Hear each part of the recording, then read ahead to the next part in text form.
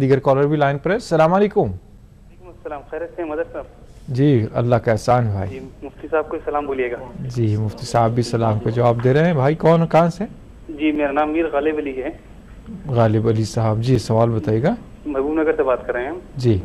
जी मौलाना से सवाल हमारा ये है कि हम्म, हुजूर हुजूर अकरम सल्लल्लाहु अलैहि वसल्लम से जी। उम्मती का किस ताल्लुक किस तरह से ताल्लुक होना चाहिए? ठीक है। जी यही क्वेश्चन बेहद शुक्रिया आपने हमें कॉल किया इंशाल्लाह आपके सवाल का जवाब दिया जाएगा। अल्लाह तबारक व ताली ने अपने कलाम मजीद में फरमाया पहले तो आपका एहसान ज़िक्र किया और आपके अवसाफ बयान किए फिर उसके बाद आपसे ताल्लुक़ कैसा होना चाहिए उसकी चार जहतें बयान फरमाई। अल्लज़ीन यत्तबिऊन रसूल नबी उम्मी यल्लज़ी यजीदूनहु मकतूबन इंदहुम फित तौराती इंजील। जो लोग इतबा और पैरवी करते हैं उस रसूल की जो दुनिया में किसी से पढ़े नहीं हैं और गैब की खबरें देते हैं जिनके सिफ़ात को वो तौरात व इंजील में अपने पास महफूज पाते हैं ये अमर हम बिलमारूफ जो उन्हें भलाइयों का हुक्म देते हैं वयनहा हम अनिलमुनकर और जो उन्हें बुराइयों से रोकते हैं। वह युहिल्लुलहुम तय्यिबात और जो नबी सल्ला अलैहि वसल्लम उनके लिए पाकीज़ा चीज़ों का हलाल हलाल कर देते हैं। वह युहर्रिमु अलैहिमुल खबाइस और गंदी चीज़ों को उन पर हराम कर देते हैं।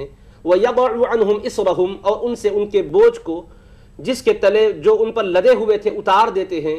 वल अगला लल्लती कानत अलैहिम और उन जकड़बंदियों को जिसमें वो जकड़े हुए थे उनसे दूर कर देते हैं। फिर उसके बाद फरमाया अब ये उनका एहसान ज़िक्र किया कि नबी करीम अलैहिस्सलाम बोझों को उनसे उतार देते हैं जकड़बंदियों से उन्हें आज़ाद कर देते हैं राहत और रहमत अता करते हैं।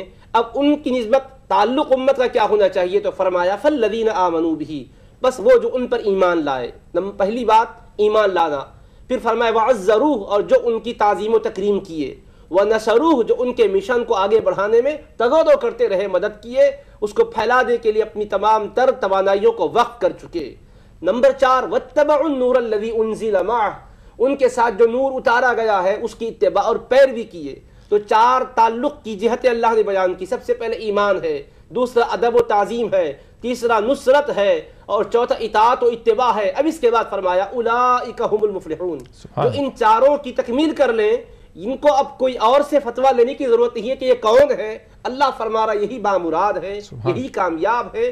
कामयाबी इसी चीज़ के करने का नाम है और ये करने वाले ही कामयाब बामुराद है। सुबह सुबह ऐसा ताल्लुक़ हमारा इस्तवार हो जाए अल्लाह करे।